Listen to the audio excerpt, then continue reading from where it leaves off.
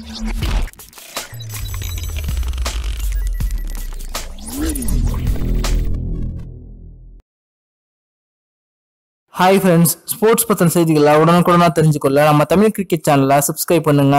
Kolkata night Riders அணியின் கேப்டனான தினேஷ் கார்த்திக் இந்த இரண்டாயிரத்தி பத்தொன்பதாம் ஆண்டுக்கான ஐபிஎல் தொடர்ல எந்த அணி சாம்பியன்ஸ் பட்டத்தை வெல்லும் அப்படின்னு தன்னோட கருத்து தெரிவிச்சிருக்காரு. அது பத்தின முழுமையான விவரத்தை பார்ப்போம்.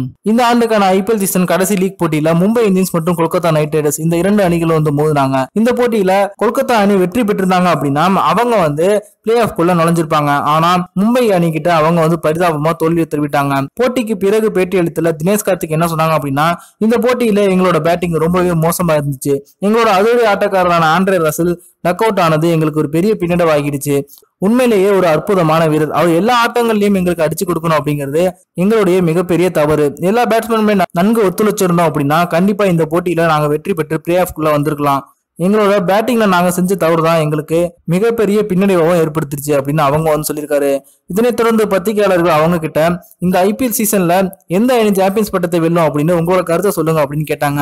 அதற்கு சற்றும் யோசிக்காமல் தினேஷ் கார்த்திக் மகேந்திர சிங் தோனி தலைமையிலான சென்னை சூப்பர் கிங்ஸ் அணி தான் சாம்பியன்ஸ் பட்டத்தை வெல்லும் அப்படின்னு சொல்லியிருந்தாரு. அது மட்டும் இல்லாம சென்னை சூப்பர் கிங்ஸ் அணி தன்னோட கடைசி லீக் போட்டியில பஞ்சாப் அணிக்கு எதிரான போட்டியில தோல்வி அடைஞ்சிருந்தாலும் கூட கண்டிப்பா பிளே ஆஃப்ல ஒரு அற்புதமான ஆட்டத்தை வெளிப்படுத்துவாங்க.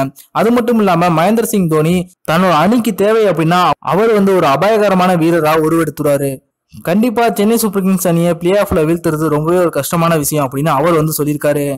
தினேஷ் கார்த்திகோட இந்த கருத்து சிஎஸ்கே ரசிகர்களை பெரிய அளவில் மகிழ்ச்சி அளித்திருக்கு அப்படின்னு சொல்லலாம். இருந்தாலும் இந்த ஐபிஎல் சீசன்ல எந்த அணி கோப்பையை வெல்லும் அப்படின்ற உங்களோட கருத்தை கீழே கமெண்ட்ல லீவ் பண்ணுங்க. இந்த வீடியோ உங்களுக்கு பிடிச்சிருந்துச்சுன்னா லைக் பண்ணுங்க ஷேர் பண்ணுங்க. நன்றி.